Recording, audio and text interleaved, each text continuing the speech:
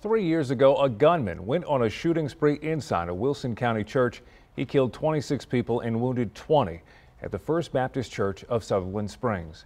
His demise came shortly after. Eyewitness News reporter Marvin Hurst has more on today's tribute for the victims and the survivors of a deadly Sunday in South Texas. With each toll, Noah Holcombe, the bells at the First Baptist Church of Sutherland Springs. Annabelle Pomeroy, pays tribute to those lost. Robert Marshall, on a Sunday.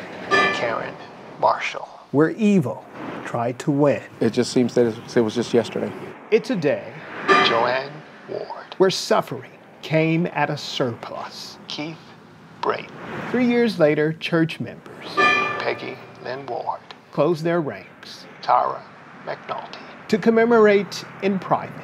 Dennis Johnson Sr., It's hard every year. It's not going to get any easier. All we can do is pay our respects. But there are those Sara Johnson, who arrived on the scene to help Lula White, on a Sunday Therese Rodriguez, that went down in infamy.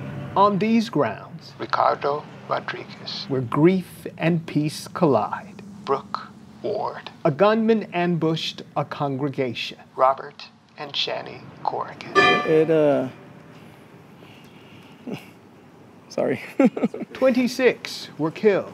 It is hard. It is hard to talk about it. Haley Krueger, Emily Garcia, and 20 wounded. Emily Hill, Gregory Hill, Megan Hill, In the worst mass shooting in Texas history, it turned into a time Marc Holcombe, where wearing your feelings on your sleeve. Karla Holcombe, became a symbol of honor. Crystal Holcombe, for those who did not make it. All the stars symbolizes everybody that perished that day. So, on a day with no speakers and no ceremony, unborn baby, at a time where raw emotions need a haven from pain, the toll of the bell designated for the victims also rings for the survivors Evil did not win. as they try to shift gears and attempt to move on. Marvin Hurst, KENS 5, Eyewitness News.